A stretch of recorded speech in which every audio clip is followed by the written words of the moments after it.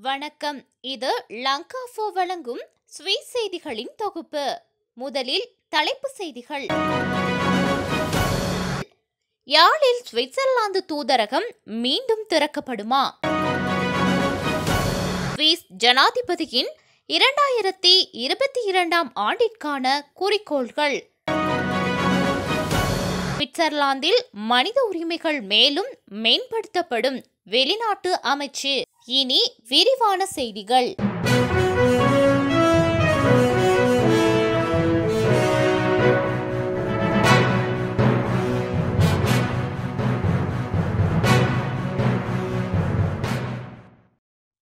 சுவிட்சர்லாந்தில் கடந்த இருபத்தி நான்கு மணி நேர முடிவில் பதிமூன்றாம் திகதி செப்டம்பர் மூன்று பேர் கோவிட் தொற்று காரணமாக மரணித்துள்ளனர்.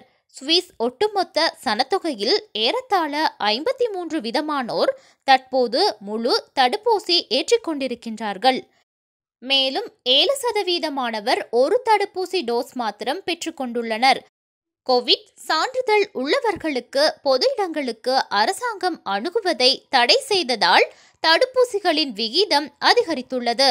தடுப்பூசி செலுத்தும் பணி முதலில் வயதானவர்களுக்கும் மிகவும் தேவையுடையோருக்குமே வழங்கப்பட்டு தற்போது பனிரெண்டு தொடக்கம் இருபத்தி ஒன்பது வயதுடையவர்கள் மீதும் கவனம் செலுத்தப்படுகிறது. பெடரல் பொது சுகாதார அலுவலகத்தை சேர்ந்த வெர்ஜினி மஸ்ஸேரி கூறுகையில் செவ்வாயன்று பனிரெண்டு தொடக்கம் பத்தொன்பது வயதிற்கு உட்பட்டவர்களில் இருபத்தி ஏழு வீதம் தடுப்பூசி ஏற்றப்பட்டுள்ளதாகவும் இருபது தொடக்கம் இருபத்தி ஒன்பது வயதுக்குட்பட்டவர்களில் நாற்பத்தி ஆறு வீதமானவர்கள் இரட்டை தடுப்பூசி பெற்றுக்கொண்டார்கள் என்றும் கூறியுள்ளார். மேலும் இளைஞர்களிடையே தடுப்பூசி பெறுவதற்கான விழிப்புணர்வை ஏற்படுத்த சுவிஸ் அதிகாரிகள் பல டிக்டாக் மற்றும் யூடியூப் வீடியோக்களை சமூக வலைதளங்களில் சென்றடைய செய்துள்ளனர். சுவிட்சர்லாந்தில் மகுட நுண்ணி தொற்று பற்றிய தகவல்கள். சுவிட்சர்லாந்தில் வாழும் மக்களில் இரண்டாயிரத்தி ஆறு சராசரி ஆயுட்காலம் ஆண்டுகளுக்கு எழுபத்தி ஒன்பது ஆண்டுகளாகவும் பெண்களுக்கு எண்பத்தி நான்கு ஆண்டுகளாகவும் இருந்தது. இது உலகில் அதிகமான ஆயுட்காலங்களில் ஒன்றாக இருக்கின்றது. சுவிஸ் குடிமக்கள் கட்டாயமான உலகளாவிய உடல்நல காப்பீட்டு திட்டத்தால் காப்பீடு செய்யப்படுகின்றனர். இந்த உடல்நல அமைப்பானது மற்ற ஐரோப்பிய நாடுகளை ஒப்பிடும்போது மிக சிறப்பாக உள்ளது. இதன் மூலம் நோயாளிகளும் அதிகமாக திருப்தி அடைகின்றனர். சுவிட்சர்லாந்தின் மக்கள் தொகையில் மூன்றில் இரண்டு முதல் நான்கில் மூன்று பங்கு வரை நகர பகுதிகளில் வாழ்கின்றனர். வடக்கு கிழக்கு மக்களின் நன்மை கருதி யாழில் மீண்டும் சுவிஸ் தூதரகம் திறக்கப்படுமா என்று மக்கள் எதிர்பார்த்த வண்ணம் இருக்கின்றனர். இது சம்பந்தமாக கடிதம் ஒன்றும் சம்பந்தப்பட்டவர்களுக்கு அனுப்பி வைக்கப்பட்டுள்ளது. சுவிட்சர்லாந்து தூதரகத்தின் யாழ் அலுவலகத்தை மீள திறக்குமாறு கத்தோலிக்க ஆயர்கள் முன்வைத்த கோரிக்கைக்கு இதுவரை உத்தியோகபூர்வமாக எந்த பதிலும் கிடைக்கவில்லை என்று கர்த்தோலிக்க ஆயர் அலுவலக தகவல்கள் தெரிவிக்கின்றன. சுவிட்சர்லாந்து தூதரகத்தின் யாழ் அலுவலகத்தை மீள திறக்குமாறு வடக்கு கிழக்கு மாகாணங்களின் கர்த்தோலிக்க ஆயர்கள் கோரிக்கை விடுத்துள்ளனர்.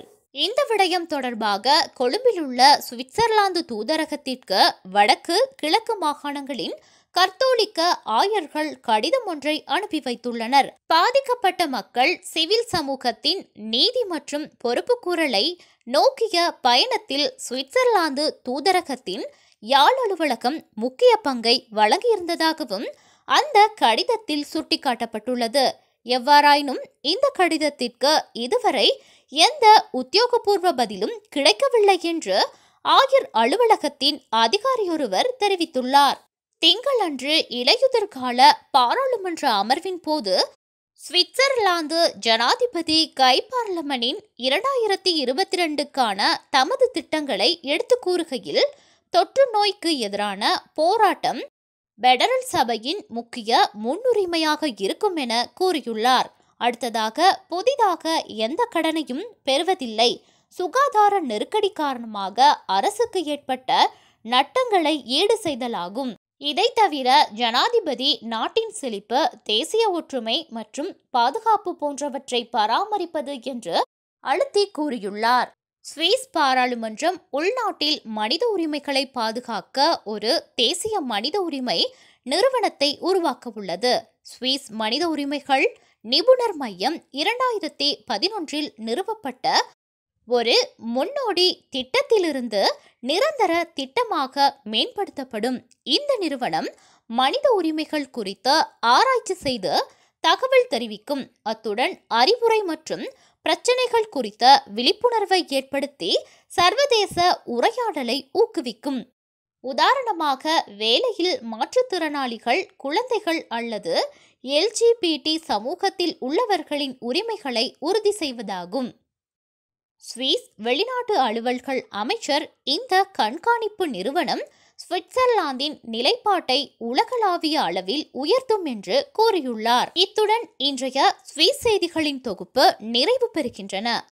தொடர்ந்தும் இது போன்ற ஸ்வீஸ் செய்திகளை உடனுக்குடன் அறிந்து கொள்ள லங்காஃபோ டாட் காம் எனும் எமது இணையதளத்துடன் இணைந்திருங்கள். நன்றி. நம்ம லங்கா ஃபோர் சேனலை லைக் பண்ணுங்க ஷேர் பண்ணுங்க சப்ஸ்கிரைப் பண்ணுங்க அண்ட் மறக்காம உங்க கருத்துக்களை கீழே கமெண்ட் பண்ணுங்க.